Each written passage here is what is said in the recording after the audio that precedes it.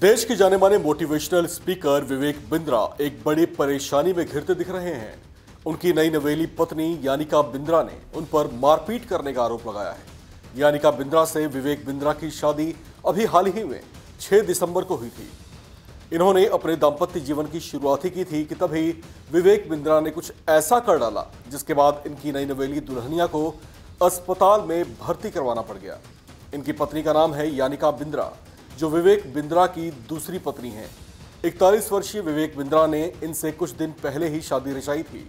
लेकिन दोनों के संबंधों में इतनी जल्दी कड़वाहट भर जाएगी, इसका अंदाज़ा किसी को नहीं था।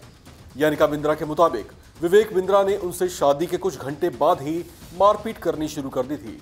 जबकि अब उनके बीच का विवाद इतना ज़्यादा बढ़ गया कि विवेक बिंद्रा ने उनके साथ बुरी तरह से मारपीट कर डाली। यानिका बिंद्रा के करीबियों के मुताबिक उनके शरीर पर कई जगहों पर चोट के निशान हैं, जबकि उन्हें सुनाई भी कम दे रहा है। उन्हें अस्पताल में भर्ती करवाया गया है, जबकि उनकी तहरीर पर विवेक बिंद्रा के खिलाफ नोएडा सेक्टर 126 थाने में एफआईआर भी दर्ज करवा दी गई है। यानिका बिंद्रा की बात करें तो इन्हें लेकर जो बातें अब तक सामने आई हैं, उसके मुताबिक इनकी उम्र 30 साल के आसपास है और ये विवेक बिंद्रा से पूरे 11 साल छोटी हैं।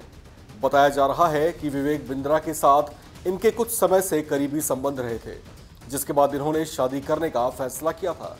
यानिका शादी से पहले तक अपने परिवार के साथ गाजियाबाद के चाँद नगर में रहा करती थी। इंडिया टुडे की रिपोर्ट के मुताबिक, यानिका के भाई वैभव क्वात्रा ने ही बहन की ओर से पुलिस में 14 दिसंबर को एफआईआर दर्ज करवाई थी। उन्होंने बताया कि विवेक बिंद्रा ने शादी के बाद से ही यानिका से मारपीट शुरू कर दी थी।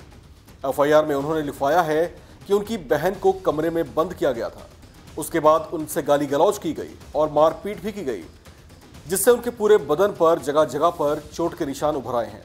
उनके मुताबिक, विवेक बिंद्रा ने पत्नी यानिका के कान पर भी इतनी ज़ोर से प्रहार किया कि उनके कान का पर्दा भी फट गया, जिससे उन्हें बहुत कम सुनाई दे रहा है। यानिका से शादी से पहले विवेक बिंद्रा ने गीतिका सबरवाल से शादी की थी, लेकिन उनके साथ भी उनका रिश्ता लंबा नहीं चल पाया। बताया जाता है कि गीतिका के साथ भी इनका विवाद लंबे समय तक चला था, जिसके बाद दोनों ने अलग रहने का फैसला किया।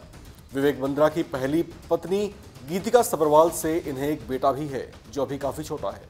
विवेक बिंद्रा और पहली पत्नी गीतिका सबरवाल का मामला अभी कोर्ट में विचाराधीन है। आपको बता दें कि विवेक बिंद्रा देश के प्रसिद्ध मोटिवेशनल स्पीकर हैं, जिनके करोड़ों फॉलोअर्स हैं। ये बिज़नेस की बारीकियाँ और किसी बिज़नेस को सफल बनाने का मंत्रा भी देते हैं। कई बड़ी हस्तियाँ भी इनके प्रशंसकों की लिस्ट में शामिल हैं।